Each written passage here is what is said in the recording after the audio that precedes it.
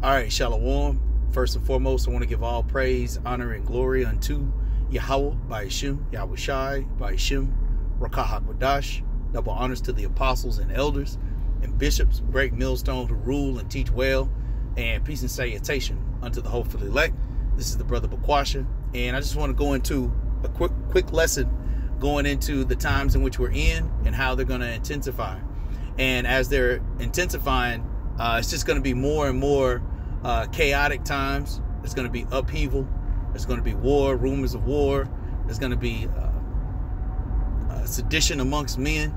You know, there's going to be civil unrest, and it's going to be mad confusion. You know, and that's what uh, Babylon, you know, represents a land of confusion. You know, things that are turned upside down, putting light for darkness and darkness for light. And these things are really going to befall two thirds of our people and these other heathen nations. You know, that's why, you know, Yahweh Shai is our light, you know, our guide, you know, through this world of confusion, you know, and darkness. And so I just want to start here in the book of Second Ezra, the fifth chapter and the eighth verse. It says, There shall be a confusion also in many places, and the fire shall be oft sent out again, and the wild beasts shall change their places, and mistress women shall bring forth monsters. Okay, so yeah, hey, as the time of Jacob's trouble approaches, the hour of temptation approaches, you know, and the judgment of Babylon, aka America, you know, there's going to be uh, just like it is right now. You know, you have all these plagues and pestilences uh, all across the cities. You know, you have derailments of trains. You have uh, all types of uh, uh toxic uh, chemicals in the air. You have fire. You know, you're going to have uh, thermonuclear missiles. You know, uh, hitting America, hitting it and and tossing it to and fro like a drunkard. You know, so it's going to be mad confusion. It's going to be anarchy. All right. I'm gonna jump down to uh, Second Ezra chapter 16, verse 21. It says, "Behold, victuals shall be so good cheap upon earth that they shall think themselves to be in good case, and even then shall evils grow upon earth, sword, famine, and great confusion."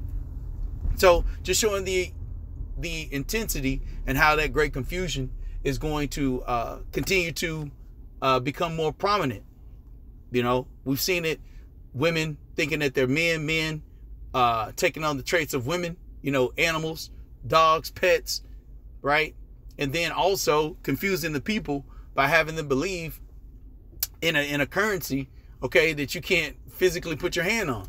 You know, and and all of this has been constructed from way back when. You know, of Esau literally spoiling the earth and keeping the goods for himself. You know, going back to uh, Klaus, Klaus Schwab uh, talking about how uh, in this fourth industrial revolution, people are going to have nothing and be happy, you know, and and that's essentially where where confusion comes in into play, you know. In ancient times, man had cattle, man had, um, you know, had had goats, had sheep, you know, had tangible land things that he could cultivate and, and provide for himself, things that he could protect to see with his eye, right? Now, all the things that once were um, grounds for ownership, Esau has been able to uh, hoard those riches unto himself, you know. But more, uh, more death, more famine, you know, is going to occur as Jacob trouble, you know, becomes more prominent. We already see the inflation of uh, food. We already see the shortages of water. We already see how the the uh, natural land, uh, rivers and, and lakes, okay, are being tainted and being polluted. So yeah, there's there's going to be more and more confusion. People people are going to look for their quote unquote government to give them instruction, and their government is just going to lead them right into the valley, you know, of of death, you know. And so uh, I got one more quick precept and then we'll wrap up. This is uh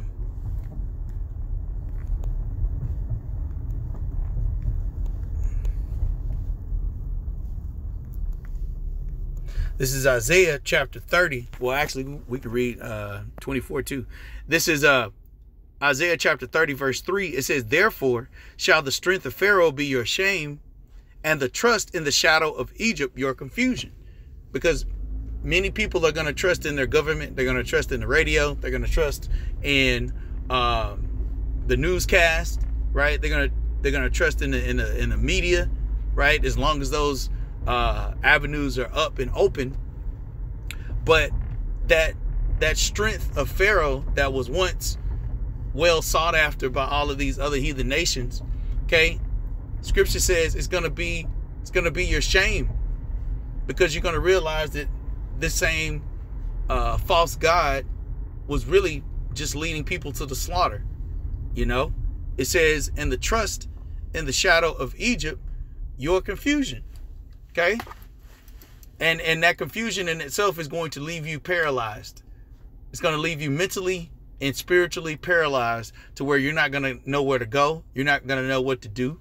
That's why wisdom, uh, scripture says, Isaiah, the, the 33rd chapter says, wisdom and knowledge shall be the stability of thy time and strength of salvation. Okay. The fear of the Lord is his treasure, not the fear of Pharaoh, not trusting in Esau, not trusting in his lies and his sorcery, you know, not trusting in in his digital currency, okay? The wisdom and knowledge of Yahweh Shem Shai. Those are the things that are going to be our stability, okay? And let's read uh, Isaiah 24 and 10. We'll wrap up. It says, The city of confusion is broken down. Every house is shut up that no man may come in, you know? And that's really just going to prove that um, as Jacob get Jacob's trouble pops off, just as it was with, with the skin scamdemic. Okay, people weren't able to leave their houses. You know, martial law had kicked off, literally medical martial law. You know, and people were shut up in their houses, going crazy, literally.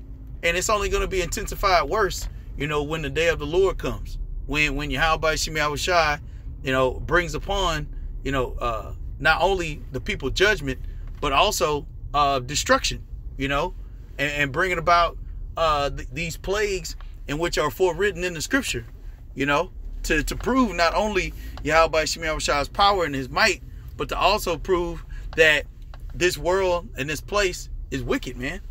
And, and the Lord is visiting the earth, you know, to make for sure that as he's visiting these people, that these people fully understand who who the greatest power is, okay, and that he should be feared. Okay, so just wanted to go into that real quick. Lord will, it was edifying for the elect. Once again, call law, like Yahweh by Shemi Shai, by Shim Rakah Double honors to the apostles and elders of Great Millstone. Peace and salutation to the elect. Shalom.